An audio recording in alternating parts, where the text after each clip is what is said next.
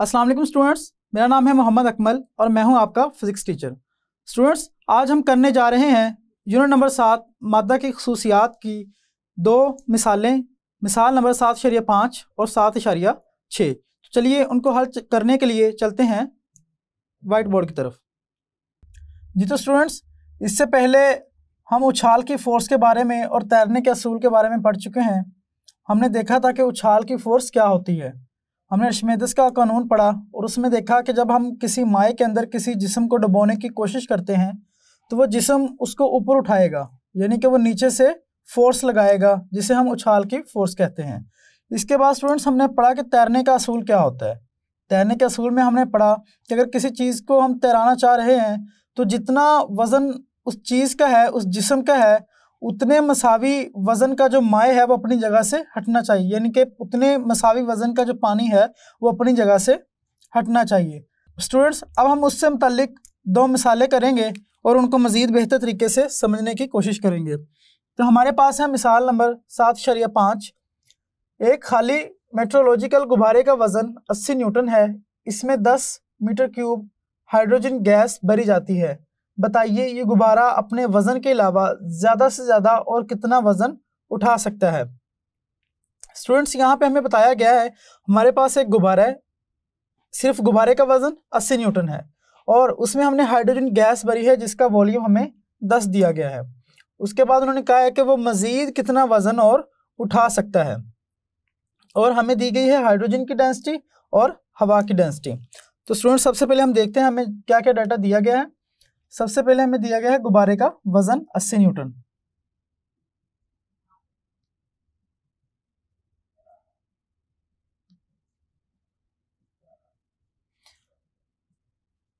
हमने गुब्बारे के वज़न को W कहा, वो कितना है? 80 न्यूटन। स्टूडेंट्स उसके बाद हमें हाइड्रोजन गैस का वॉल्यूम दिया गया है।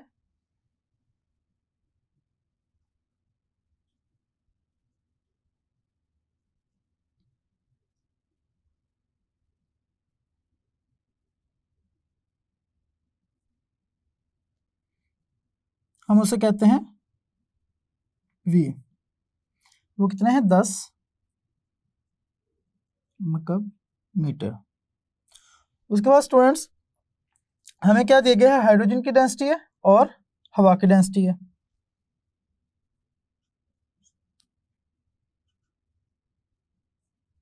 हाइड्रोजन की डेंसिटी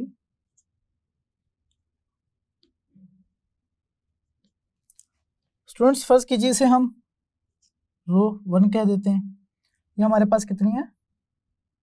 ज़ीरो इशारिया ज़ीरो, नौ किलोग्राम फ़ी मकब मीटर। उसके बाद हमें दी गई है हवा की डेंसिटी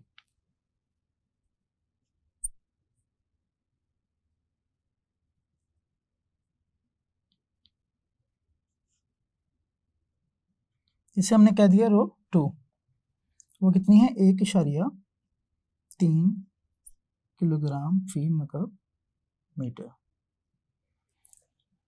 जी तो स्टूडेंट्स अब हमने मालूम क्या करना है? गुब्बारे के अंदर गैस भरी गई हाइड्रोजन गैस, उसका वॉल्यूम हमें बता दिया गया। और हमें कहा गया कि वो अपने और उस गैस के वज़न के अलावा और मज़ीद कितना वज़न उठा सकता है। तो स्टूडेंट्स सबसे पहले हम हाइड्रोजन गैस का वज़न मालूम करते हैं कि वो कितना होगा। चलिए हम मालूम करते हैं।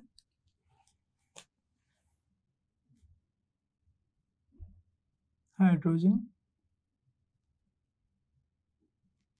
गैस का वज़न।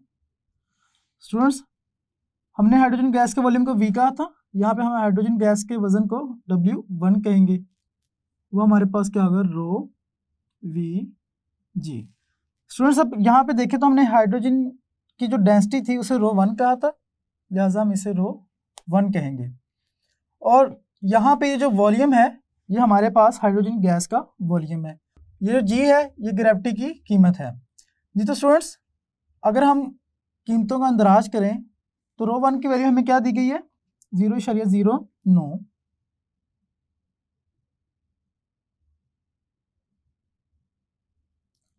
उसके बाद हमें वॉल्यूम क्या दिए गए हैं? दस। और जी की कीमत होती है दस।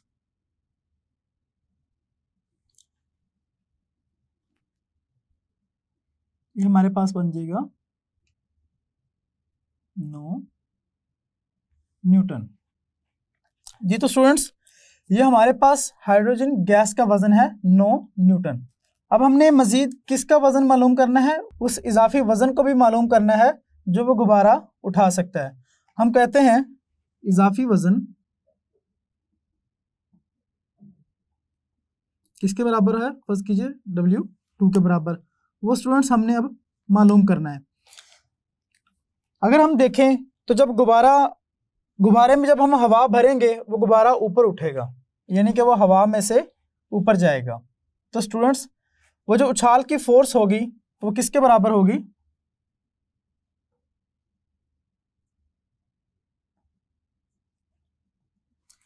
उछाल की फोर्स स्टूडेंट्स बराबर होगी जितना वो जो हमारे पास हवा है, उसका वज़न साइड पे होगा।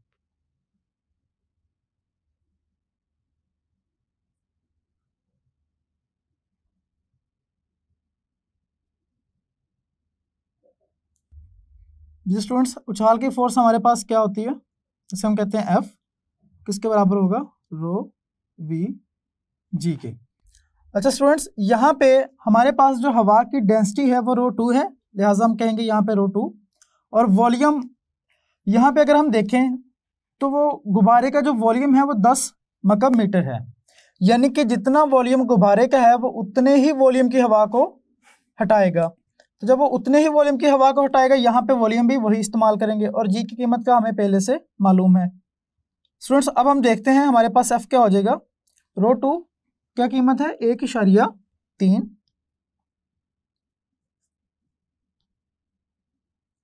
उसके बाद हमारे पास जो वी की इनके वॉल्यूम की कीमत है वो कितनी है? दस। और जी की कीमत भी दस। ये जो स्टूडेंट्स हमारे पास फोर्स क्या आ जाएगी? एक सौ तीस न्यूटन। ये कौन सी फोर्स है स्टूडेंट्स ये वो उछाल की फोर्स है हमारे पास। स्टूडेंट्स अगर हम देखें तो जितने वज़न की हवा परे हटेगी, इसका मतलब है कि उतने ही वज़न जो है, वो गुब्बारा उठा सकता है। यानी कि, देखिए, हमारे पास यहाँ पे गुब्बारा है। इसने ऊपर की तरफ़ उठना है। जब ऊपर की तरफ़ उठेगा, यहाँ से हवा को परे हटाएगा। अब जितने वज़न की हवा परे हटेगी, इसका मतलब है कि उछाल की फोर्स उसके बराबर है जो हमने यहाँ पे देखा। अब स्टूडेंट्स एक तो उस गुब्बारे का अपना वज़न है, जिसे हमने कहा डब्ल्यू दूसरा, उस गुब्बारे के अंदर गैस का वज़न है, जिसे हमने कहा डब्ल्यू वन। तीसरा, यहाँ पे एक वज़न और है, जिसे हमने कहा डब्ल्यू टू। स्टूडेंट्स अब तीनों वजनों को उठा के गुब्बारे ने उड़ना है। यानी कि जितने वज़न इस सारे का मिलेगा, वो किसके बराबर होगा? उछाल की फोर्स के बराबर। ये हम पहले लेक्चर्स में पढ़ चुके हैं। तो स्टूडेंट्स, यहाँ पे देखिए, हमारे पास इसका मतलब है कि उछाल की फोर्स किसके बराबर होगी? डब्ल्यू जो गुब्बारे का वज़न है। डब्ल्यू वन जो हाइड्रोजन गैस का वज़न है। और डब्ल्यू टू वह इजाफी वज़न है, जो कि हम गुब्बारे के साथ लगा रहे हैं। तो स्टूडेंट्स हमने फोर्स जो है, उछाल की फोर्स वो कितनी मालूम की? 130 बराबर है। डब्ल्यू हमें स्टूडेंट्स दिया गया है 80 न्यूटन। और डब्ल्यू वन हम पहले निकाल चुके हैं।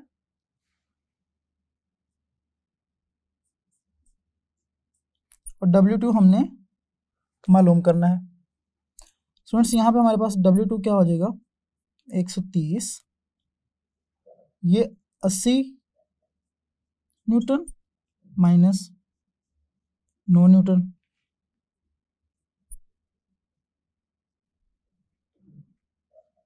ये हमारे पास आ जाएगा तालीस न्यूटन।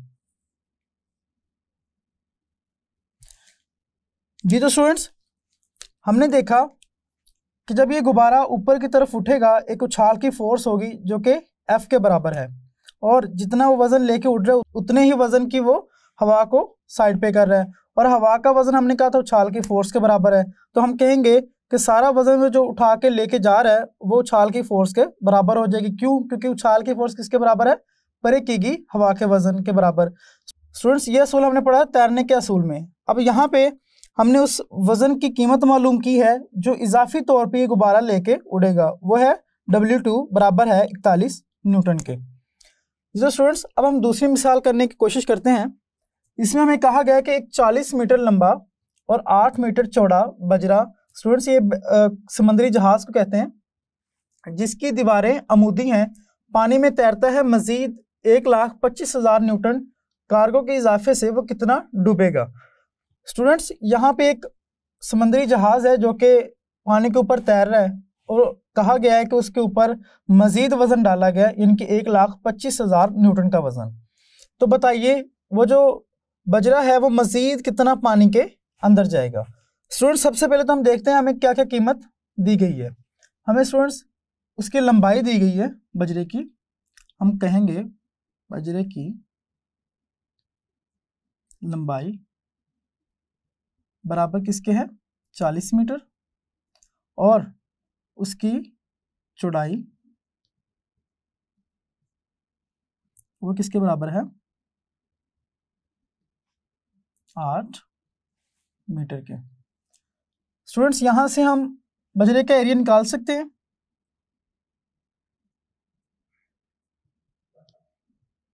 ए किसके बराबर हो जाएगा? W इंटू लेंथ बराबर है।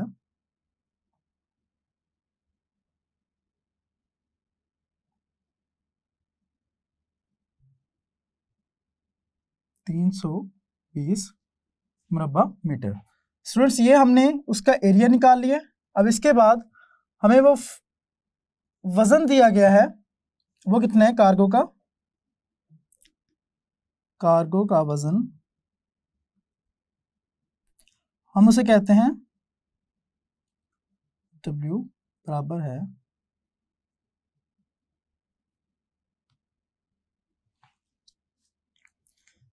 और स्टूडेंट्स हमारे पास जो पानी की डेंसिटी होती है, वो क्या है?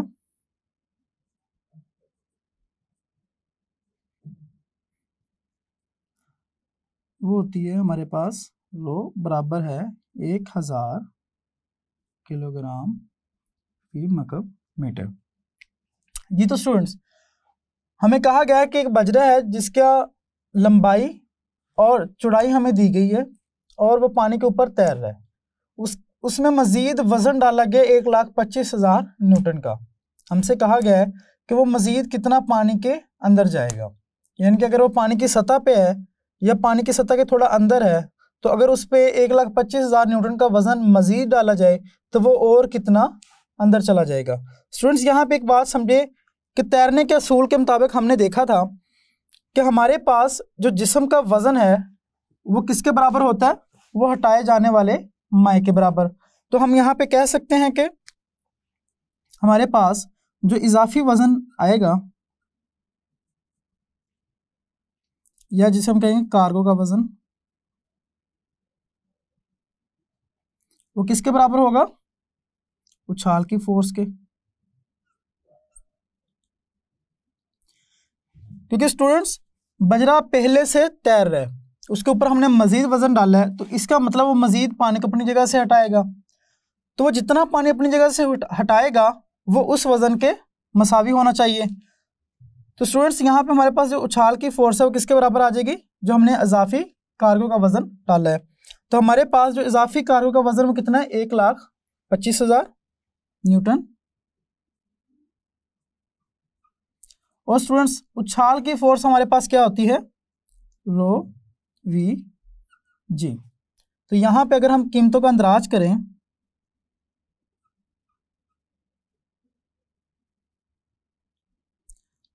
स्टूडेंट्स डेंसिटी एक हज़ार,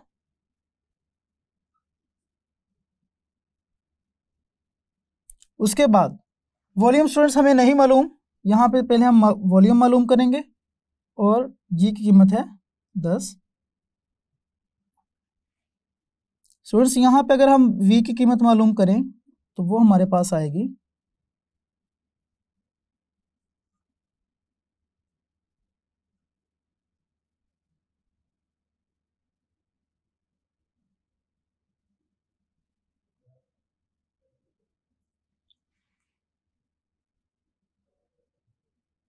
स्टूडेंट्स, ये हमारे पास आ जाएगी बारह इशारिया पाँच, क्योंकि हमारे पास वॉल्यूम है तो वॉल्यूम का हमारे पास यूनिट जो होता है, वो मतलब मीटर होता है।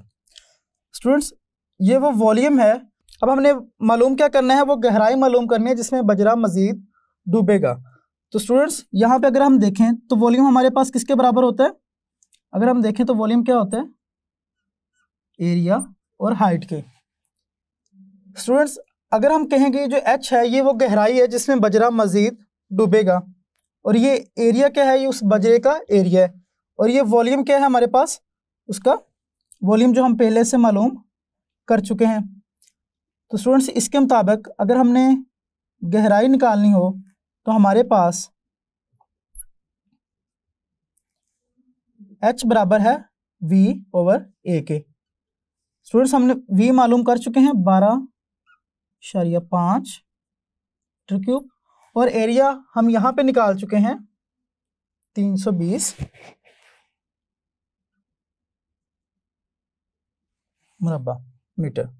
स्टूडेंट्स अब हमारे पास ये क्या आ जाएगा? ज़ीरो इशारिया ज़ीरो चार, मीटर। अब हमारे पास अगर हमने इसको सेंटीमीटर में करना हो तो एच हमारे पास क्या आ जाएगा? चार सेंटीमीटर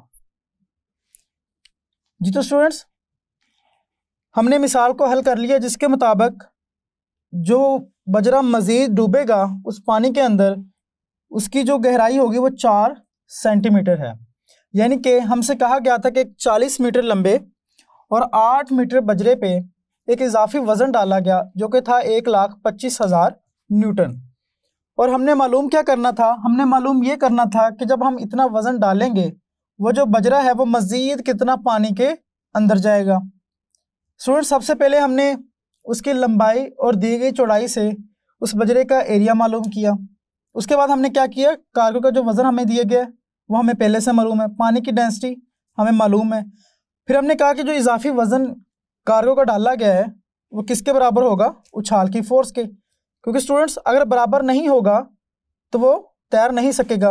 अगर वज़न बढ़ जाएगा तो वो डूब जाएगा। स्टूडेंट्स यहाँ पे जो इजाफी वज़न डाला गया है, इसका मतलब है उछाल की फोर्स के बराबर होना चाहिए। क्योंकि जब इजाफी वज़न आएगा, पानी मज़ीद अपनी जगह से हटेगा। इसका मतलब है कि वो वज़न वहाँ पे मौजूद है। लिहाजा उछाल की फोर्स हमारे पास किसके बराबर हो जाएगी? इजाफी वज़न के।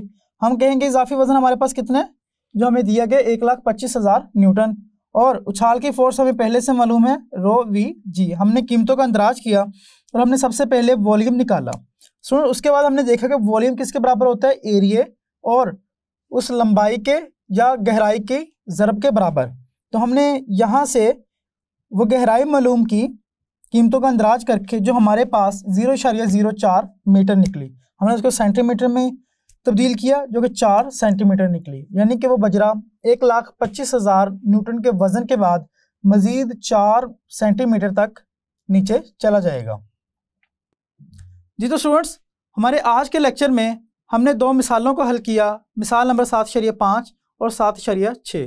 तो स्टूडेंट्स, मिलते हैं अगले लेक्चर में। तब तक के लिए अल्लाह हाफिज़।